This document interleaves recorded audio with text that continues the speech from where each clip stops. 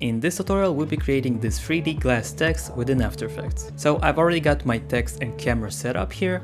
I'm gonna quickly show you how I created the text animation in the beginning. So I'll go into my text layer here and under animate, I'll select rotation and go there again and select opacity.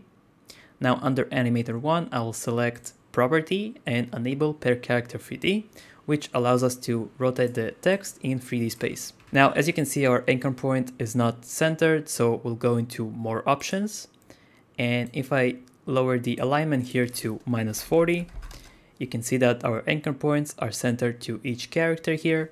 And now once I rotate our text, it basically rotates around it. So I'll set the X rotation here to 180 and the opacity to zero. Now I can go into my range selector and set the offset to minus 100.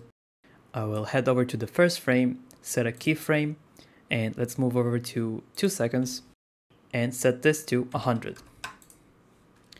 Now once I play this back, it looks kind of weird. So let's go ahead and go into the advanced and set the shape from square to ramp up. I will also set the ease low to 50 and we've got our basic text animation like so. Now let's actually make this 3D and add detexturing. So I'll go into my composition here, right click it, composition settings, and under 3D renderer, I'm gonna make sure I'm set to advanced 3D and hit OK. I've got something called geometry options, and it allows me to extrude the text in 3D space. So I'll set this to maybe 120. And as you can see, we got some depth here and set the bevel style to convex and let's give it a bit of an edge so maybe set this to 6 now I'll head over to the material options and just maximize everything to 100 here.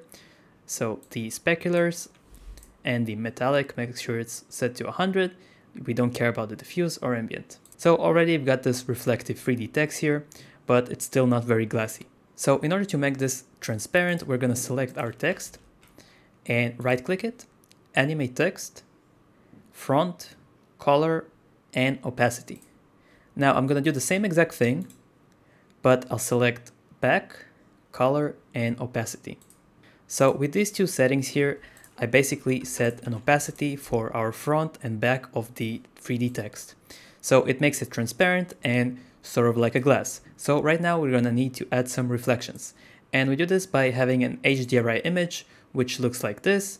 Now there's a great website called HDRI Heaven, which provides these assets for free, so check it out if you need any of these. And once I've got my image, I'll just drop it into my comp here, and we can hide it. Now I will right click, new light, and we wanna make sure it's environment light, set it to 100 is fine, and hit OK. Now under our light options here, you can see we've got something called source, and we can change this to the HDRI image that we've provided. And basically right now it is reflecting that image and gives us these cool reflections. Now, if I hit R, I can actually rotate the environment and choose where it reflects from. And what I like to do here is set two keyframes and let's go over to maybe five seconds and just give this slight movement. So set these both to five and that sort of gives us this continuous reflection here once the text is fully animated. I will also go into my camera and give it a bit of a position animation here. So just zooming in. So this is our animation so far. Now let me show you how we can add in some details. So something I like to do is actually select everything and control D to duplicate them. Now I'll pre-compose this and we'll call this glow. So I'll go into this new composition here. I will select my light, T for opacity, and we're gonna set it to something like 10 and it gives us this nice looking highlights here. So once I go into my main composition, and let me isolate this, I can add a levels effect, and I'll just further isolate these lights, maybe reveal a bit more here. And now if I add a deep glow to this or any kind of a glow here, and lower this a bit, I will set the comp to add and let's reveal everything. And you can see we got these nice glowing edges around our text, which adds some details. Now, since we cannot add textures to our front layer, what we can do is, let me enable the background for example, and I'll create a new adjustment layer. And I'll duplicate my original text layer and we'll call this blur.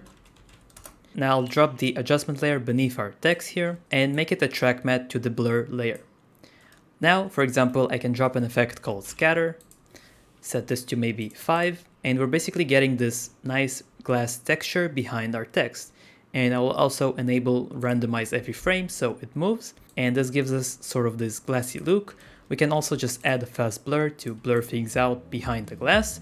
So this is how you can create this animated text. I hope you found this tutorial useful. Thanks for watching and I'll see you in the next one.